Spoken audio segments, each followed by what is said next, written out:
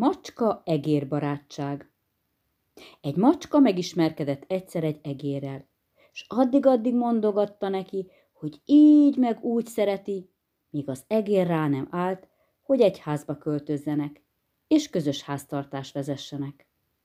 Hanem télire készletet kell ám gyűjtenünk, különben felkopik az állunk, mondta a macska. Neked, egérke, különben is vigyáznod kell, hová dugod az orrodat, még utóbb beleesel valamit csapdába. A jó tanácsot tett követte. Vettek egy kis bödönzsírt. Csak azt nem tudták, hová dugják. Hosszas töprengés után azt mondja macska.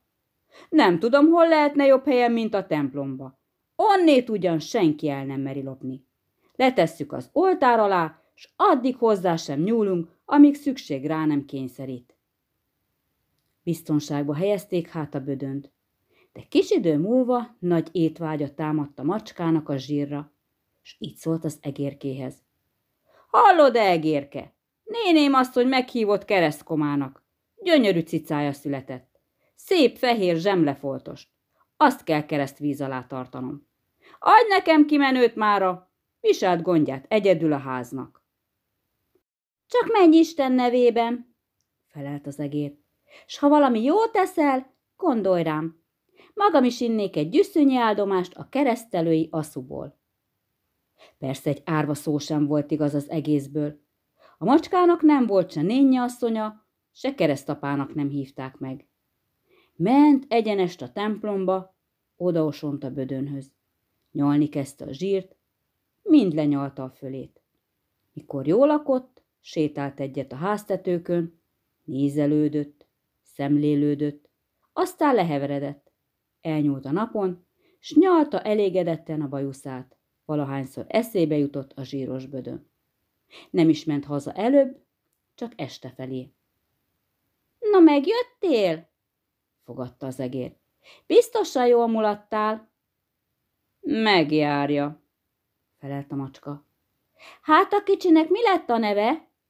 Tudakolta tovább az egér. Lefölét, vetette oda kurtán a macska. Lefölét? kiáltott fel ámulva az egér.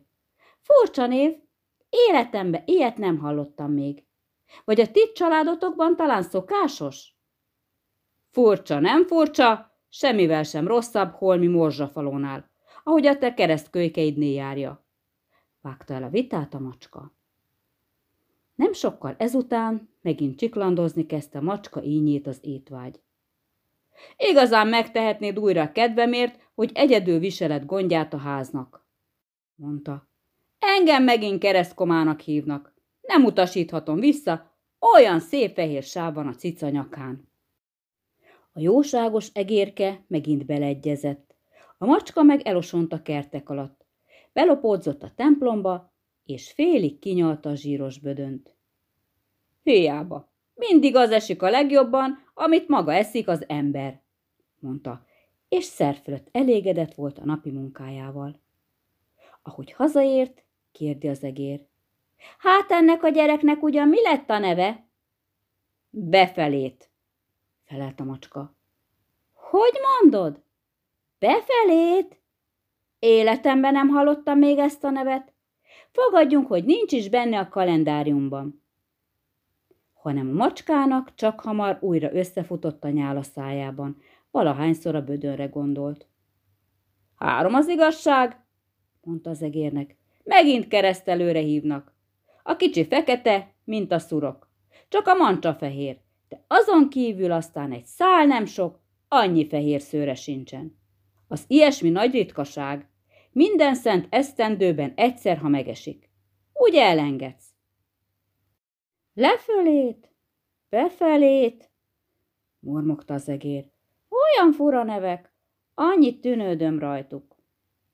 Mert folyton itthon kuksolsz a szürke háziruhádban.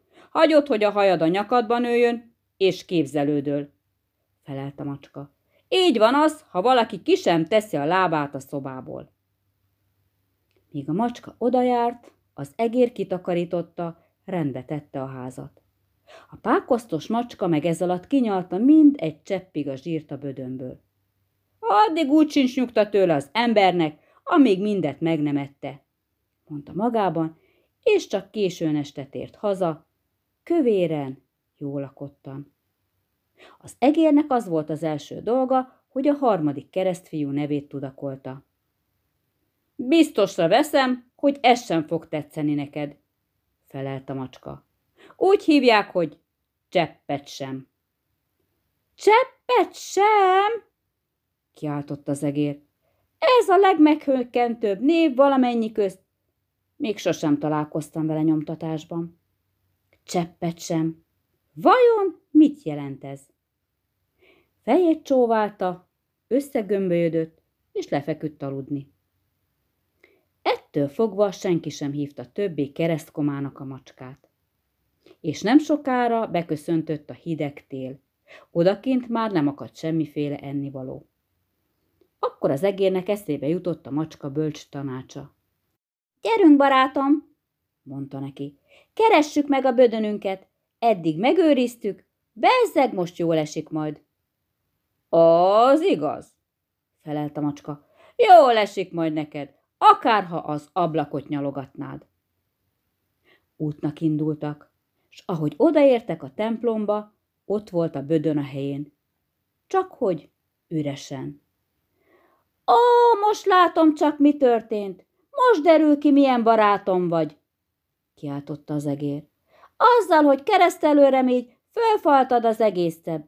Előbb le a fölét, aztán be a felét, végül nem hagytál. Nem hallgatsz? rivalt rá a macska. Ha még egy szót szólsz, bekaplak. Cseppet sem, mondta a szegény egér, mert már a nyelvén volt, s akarta, nem akarta, kiszaladt a száján. A macska utána ugrott, de az egér gyorsabb volt. Elszaladt. Azóta is vigyáz, hogy macskával ne találkozzék.